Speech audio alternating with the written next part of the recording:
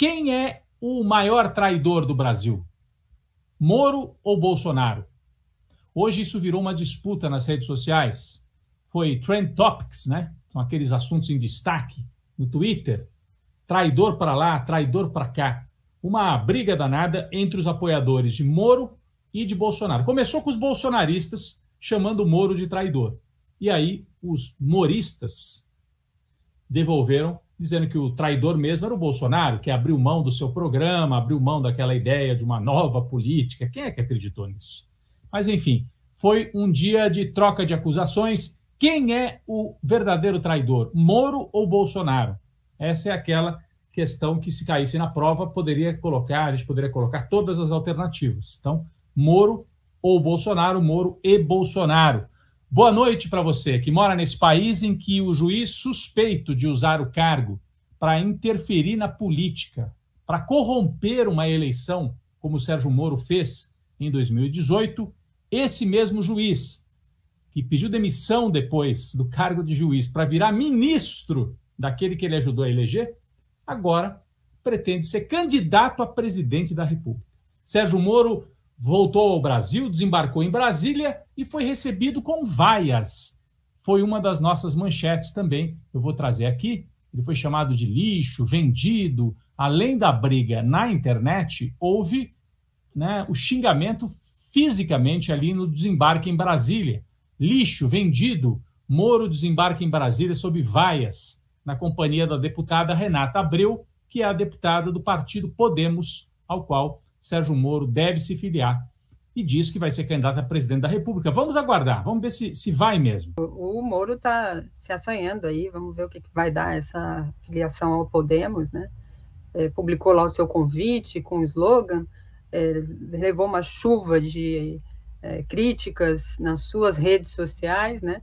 É, e também de outras lideranças. O governador Flávio Dino disse aqui ontem, é, disse que o, slogan dele é juntos, juntos podemos fazer um Brasil mais justo para um juiz, disse o Flávio Dino, né, para um juiz considerado parcial pelo Supremo Tribunal Federal e que cometeu todos aqueles crimes é, na Lava Jato, é, justiça não é uma característica do Moro, né? Ele tem uma herança, né?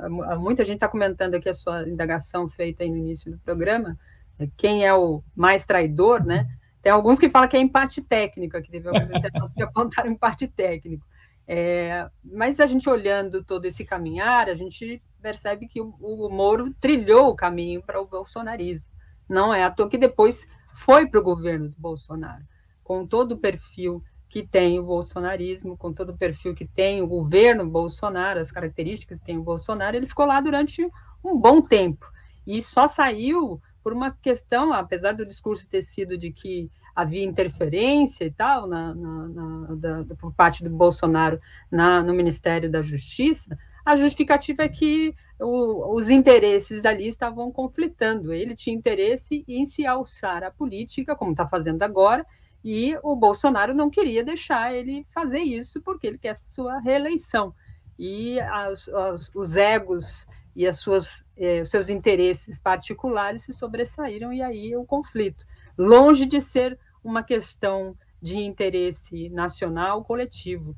Primeiro, porque não é uma característica do Bolsonaro e muito menos do Moro. Ele demonstrou isso tudo ao longo da, da sua trajetória. E as pesquisas, né? Também no final de semana saiu uma pesquisa apontando é, justamente esse, a, pesquisa do Paraná Pesquisas, né? É, as pessoas fizeram uma análise de se o Moro seria bem-vindo na política como candidato, 57% dizendo que não. E isso no Instituto do Paraná Pesquisas, que todo Paraná. mundo acompanha, né?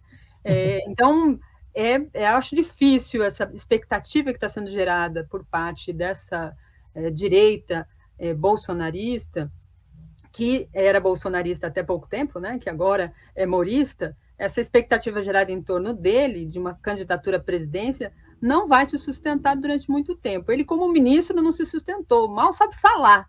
Só se ele fizer que nem o Bolsonaro na campanha, né? Vai ter que ficar calado, não debater, porque não se sustenta em um debate. Ele não se sustentava numa coletiva de imprensa. Então, Sim. as pessoas não, não veem o Moro, que dizia que não queria ir para a política, que estava fazendo somente o seu trabalho como juiz, o, o, aquilo tudo que ele diz. Então, é um jogo de mentiras, né? O que a gente tem visto no Brasil são lideranças que surgem é, é, é, forjadas na mentira, né? O forjado aqui tem um duplo sentido até. É, é, a mentira que, que sustenta essas pessoas, e mentira não dura muito tempo, né, Rodrigo? Exato. E enquanto você falava, eu só coloquei aí na tela o artigo do Joaquim de Carvalho, que traz uma expressão aqui: o Moro quebrou o Brasil e o Bolsonaro é sua herança maldita. Porque, se a gente pensar bem, o Bolsonaro é filho da Lava Jato. Ele não existiria como presidente, ele já existia como político da extrema-direita. Mas ele não existiria como presidente sem que a Lava Jato tivesse quebrado a economia e o sistema político brasileiro. Então, o Bolsonaro é filho do esquema militar e da Lava Jato, além de todo o esquema midiático que foi armado para que o Lula não pudesse participar da eleição de 2018. Então, é, é, essa expressão do Joaquim é muito feliz, né? O Bolsonaro é a herança maldita do Moro. Os dois são a mesma coisa. Lembra do que dizia a, a esposa do Moro, quando perguntaram se ele ia sair do governo? Ela, não, eu não vejo por aí, porque eles são a mesma coisa. Eles são uma coisa só. Eu vejo o Moro, né, o Sérgio Fernando Moro e o Jair Bolsonaro como uma coisa só. Isso quem dizia é a mulher, a esposa do Sérgio Moro.